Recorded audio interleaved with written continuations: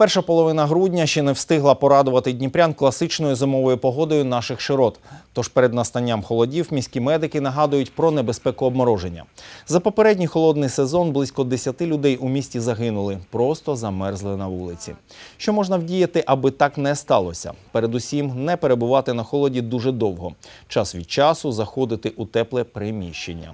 Перед виходом на вулицю наносити захисні зимові креми для обличчя і рук. При підозрі на обмороження ні за що не займатися самолікуванням, а звернутися до найближчого медзакладу.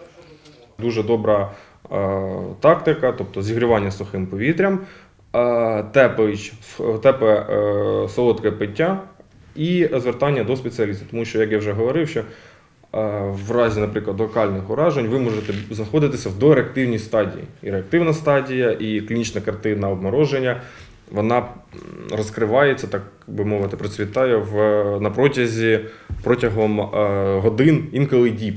Тому е, самолікуванням і самодіагностикою не варто зловживати. Е, З'явитися, показатися, і, скоріш за все, ваше лікування може бути амбулаторним під наглядом сімейного лікаря. Знову ж таки, якщо все буде вчасно і адекватно.